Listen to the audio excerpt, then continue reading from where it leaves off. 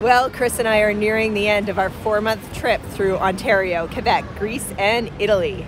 So here are our lessons learned and what we would do differently next time.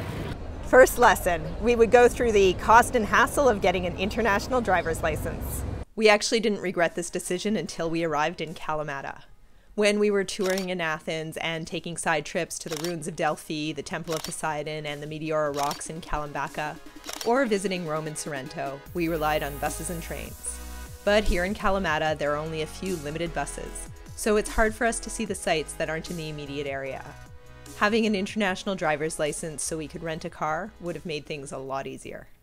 And to go along with our international driver's license, we would learn or relearn how to drive stick. Rental cars here are a lot easier to get if you're okay to drive a manual transmission. So, to keep our options open, we'd practice our stick driving skills so we'd be more confident driving on foreign roads. Lesson number three we need to pack our hiking bladders. When we were in Taiwan a few years ago, we were getting ready to hike up Yushan, only to find our hiking bladders had somehow gone moldy. So we had to switch to water bottles at the last minute.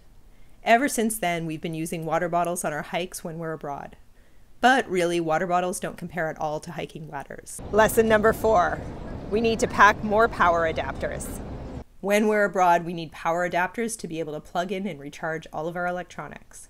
Having just one or two is not enough. We want to be able to charge our laptops in the living room and our phones by our bed. It's a pain to have to keep moving them, so we need to pack a few more next time we travel.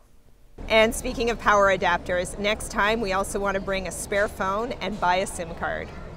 We planned on buying a SIM card on this trip, but then somehow never got around to it. It's so much easier to have a local SIM card and number rather than relying on Wi Fi or paying expensive overseas roaming cell charges. And we would also get a third cheap phone for the SIM card with hotspot capabilities so we can keep our existing SIM cards in our phones to keep using services like iMessage on our Canadian phone numbers. Next lesson we will look for, buy, and pack clothes that are a lot lighter and that dry a lot faster.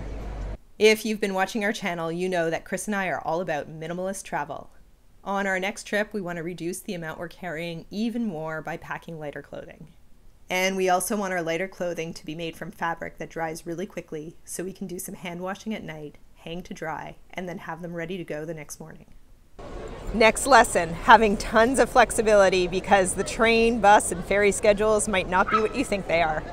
I actually think we did a pretty good job at this, but I want us to continue to remember not to have too tight a schedule because the trains, buses, and ferries may not always arrive at the advertised time. Next up is we need to improve our ability to watch TV when we're at an Airbnb. At an Airbnb, we like to use our laptops while having the TV on in the background. We pack a small Windows 10 device so that we can watch Netflix, YouTube, and other streaming shows on the TV that comes with the apartment.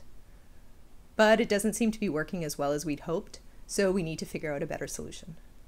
Next lesson. I actually think we did this pretty well, but we can continue to improve on it is that we need to download local maps and transportation schedules before we get there, just in case there's no internet available to us. And that's our list of lessons learned for our trip. If you enjoyed this video, please give it a like and subscribe to our channel for more unconventional minimalist travel adventures.